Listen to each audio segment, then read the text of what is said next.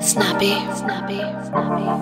ਓ ਬੱਜੀਆਂ ਹਵੇਲੀ ਵਿੱਚ ਦੋ ਘੋੜੀਆਂ ਇੱਕ ਆ ਬਲੈਕ ਇੱਕ ਵਾਈਟ ਰੰਗ ਦੀ। ਖੜੀਆਂ ਹਵੇਲੀ ਵਿੱਚ ਵੇਖ ਗੱਡੀਆਂ ਮਾਰ ਕੇ ਸਲੂਟ ਰੈੱਡ ਲਾਈਟ ਲੰਘਦੀ। ਹਾਈ ਲੈਵਲ ਦੇ ਲਿੰਕ ਆ ਕਮਾਏ ਗੋਰੀਏ ਨੀ ਉਤੋਂ ਯਾਰ ਸਾਰੇ ਨੇਰੇ ਅੱਗ ਨੇ।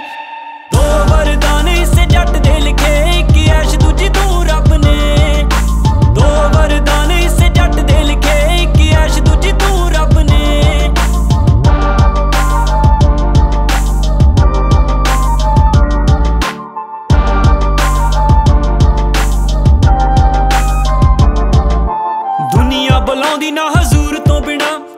ਕਰੀਏ ਨਾ ਕੰਮ ਕੋਈ ਮੂਡ ਤੋਂ ਬਿਨਾ। ਟੌਪ ਦੀ ਪਿੰਨਿਆ ਕਾਕਟੇਲ ਗੋਰੀਏ। ਹੋ ਲੰਘਦੀ ਦਿਹਾੜੀ ਨਾ ਸਰੂਰ ਤੋਂ ਬਿਨਾ। ਅੰਬਰਾਂ ਤੇ ਜਿਵੇਂ ਬੱਦਲਾਂ ਦੇ ਕਾਫਲੇ ਓਵੇਂ ਨਾਲ ਘੁੰਮਦੇ ਆ ਯਾਰ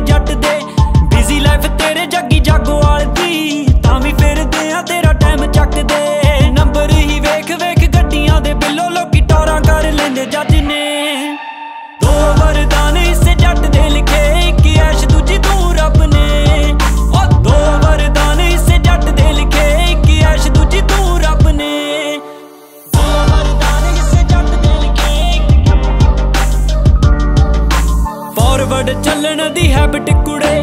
ਬੈਕ ਫੁੱਟ ਰੱਖਿਆ ਨਾ ਕਦੇ ਗੋਰੀਏ। ਇੱਕ ਬਿੱਲੋ ਇੱਕ ਬਿੱਲੋ, ਤੇਰਾ ਚਸਕਾ। ਦੂਜਾ ਅਸੀਂ ਹੱਟ ਤੇਰੇ ਕਾੜ ਤੋੜੀਏ। ਫਰੀਆਂ ਦੇ ਜਹੀ ਉਤੋਂ ਨਾਰ ਪੱਟ ਲਈ।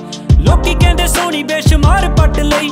ਜਿੰਨੇ ਰੋਬ ਨਾਲ ਕੁੜੇ ਪੱਬ ਚੱਕਦੀ। ਵਰਗੀ ਤੂੰ ਲੱਗੇ ਹਥਿਆਰ ਪੱਟ ਲਈ। ਚਾੜਿਆ ਲਸਾਸ ਤੇ ਗਲੋਕ ਨਵੇਂ ਨਵੇਂ ਬਿੱਲੋ ਵੇਖ ਨਾਲ ਲੱਗੇ ਡੱਬ ਨੇ। ਇੱਕ ਦੂਜੀ ਤੂੰ ਰੱਬ ਨੇ ਦੋ ਵਰਦਾਨ ਇਸ ਜੱਟ ਦੇ ਲਿਖੇ, ਇੱਕ ਐਸ਼ ਦੂਜੀ ਤੂੰ ਰੱਬ ਨੇ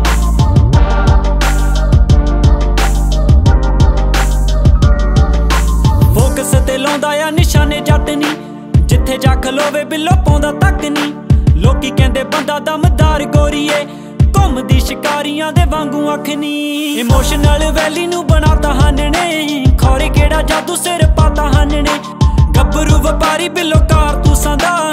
ਫੁੱਲ ਜੇ ਖਰੀਦਣ ਤੂੰ ਲਾਤਾ ਹਨਣੇ। ਹਾਈਪਰ ਤੋਂ ਵੇਖ ਕੂਲ ਮਾਈਂਡ ਹੋ ਗਿਆ। ਇਹ ਤਾਂ ਤੇਰੇ ਕਾਰਨਾਮੇ ਸਭ ਨੇ।